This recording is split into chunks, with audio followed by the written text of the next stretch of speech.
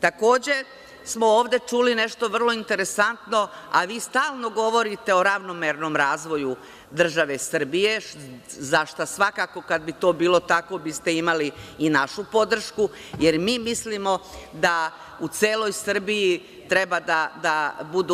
da se cela Srbija jednako razvija, mi mislimo da svako u Srbiji zaslužuje uslove savremenog čoveka, uslove koji su takvi da svako ko završi, recimo, fakultet u Beogradu, Novom Sadu ili negde poželi da se vrati u svoje rodno mesto, nažalost to nije tako. Vi ste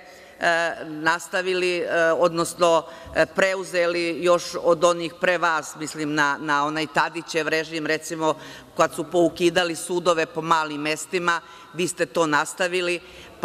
pa i dalje u mnogim malim mestima nema sudova, zatvarate škole, dakle, ne stvarate uslove za taj ravnomeran razvoj.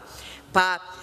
sad, pošto su završeni oni stanovi od po 380 evra po kvadratnom metru, ne znamo tačno gde su, na kojoj su maketi, sad se priča o stanovima koji će biti građeni po 550 dinara po kvadratnom metru i danas ovde čujemo, da ministre Vujoviću, ali danas ovde, ne znam da li ste čuli,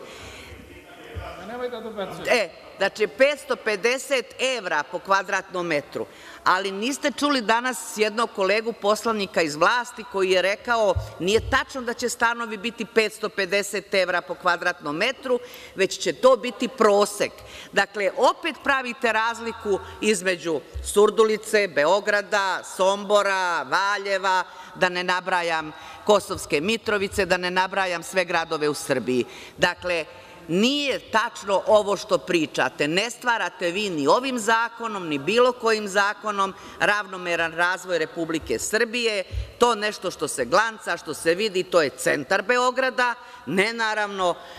ove okolne opštine koje jesu beogradske opštine, to je centar Beograda, centar Novog Sada, ostalo se nigde ništa, gospodo, ne radi. Hvala.